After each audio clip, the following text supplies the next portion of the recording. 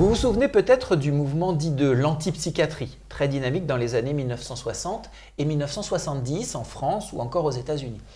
Il s'agissait ni plus ni moins de libérer les malades mentaux en les rendant à la vie civile plutôt qu'en les enfermant entre quatre murs et dans leur maladie. Un mouvement qui avait périclité avec le tournant sécuritaire et conservateur des années 80, mais qui était resté vivace en Italie, avec un résultat imminent, Léna. Il n'y aura bientôt plus, ou presque plus en tout cas, d'hôpitaux psychiatriques en Italie dès cette année. Et oui Xavier, direction l'Italie. En effet, en 2015, l'Italie va fermer ses derniers hôpitaux psychiatriques.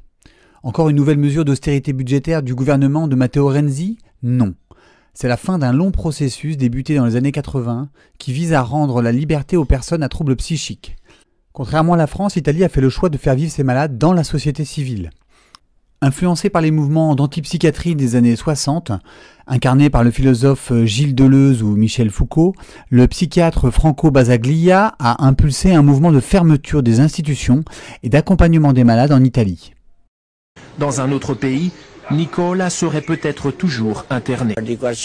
Dans l'asile, on perd tous ses droits. Ça serait comme une mort civile si j'habitais en Espagne ou en France, si on m'obligeait à retourner dans un hôpital psychiatrique. Ce serait pour moi une énième tentative de suicide. On organise toute l'intendance, le loyer à payer, les factures d'électricité, de téléphone, lequel des trois devra les payer? Effettivamente chi non ha non è, perché quando una persona disturba, malato o meno che sia, va a finire o in manicomio o in carcere.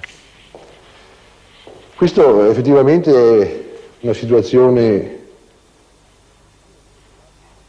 contraddittoria. Restituer au patient une partie de son identité qui n'est pas celle liée à la maladie mentale. Ne pas considérer que la maladie mentale imprègne la totalité de son psychisme de manière à ce qu'il n'ait pas une autre présence. Donc de ce point de vue, c'était un projet réussi. Euh, pour nous, c'était aussi une occasion de montrer que ces personnes, dans le fond, bah, peuvent partager certaines aventures qui ne sont pas si différentes par rapport aux autres gens. hein. C'est- la question de l'altérité. Alors, s'il vous plaît, vous n'avez pas abandonné, vous avez tenu jusqu'au bout. Et puis, euh, bah maintenant, alors là... Amusez-vous quoi. Alors vous me direz, c'est un choix de technicien, de psychiatre. Eh bien non, c'est selon Basaglia un choix politique. Car fermer les institutions psychiatriques pour mieux soigner les malades ouvrirait nécessairement un débat sur la pertinence ou non des institutions pénitentiaires. Je voulais vous donner un conseil, si vous permettez. Ne parlez jamais de votre santé à un médecin.